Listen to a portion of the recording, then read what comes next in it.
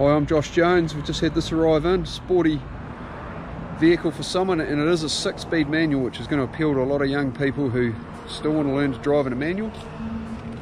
It's got ever so slight, being New Zealand new, it does have the odd wee stone chip on it, but it's pretty pretty straight and honest, wee mark there.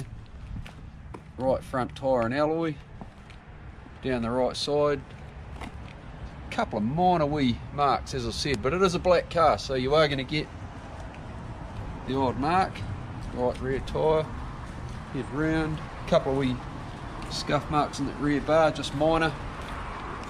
And left rear that's just from buffing. And just ever so slight marks. I don't think anyone's going to be too concerned though because it is a good looking car and very hard to get in a six-speed manual. Right, now for the road test.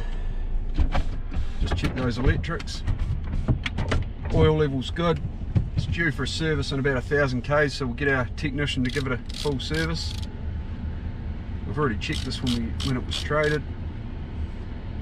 Air con cold, and it's got dual zone climate air, so we can hot on one side, cold on the other. Just pays to check all that sort of stuff. It's six speed manual, wee bit of wear on the gear lever, but I can see the buyer for this. Young fella wants something a bit of go, and being the SP25 and a six speed, quite rare. It's got a good look about it, as you've seen by the video. Let's check that clutch. Clutch is good.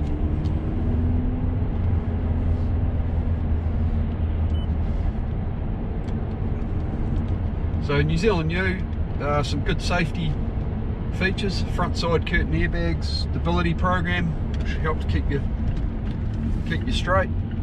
Full set of mats, one key, we are looking for the spare, but at this stage it's got the one key.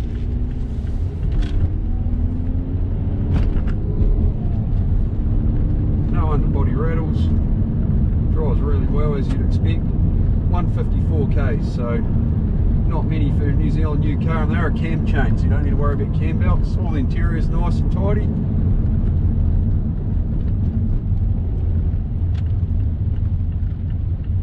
Just do a couple of turns.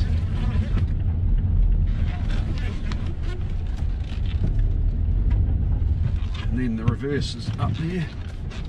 So yeah um, drives well. Six speed manual as I said which is a real selling point on this car the hill.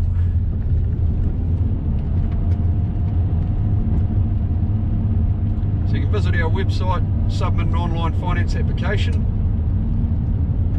If you've got a trade and we can have a look at that for you too. And um, we can freight all around all around the country. For not a, uh, if you want a quote, just ask.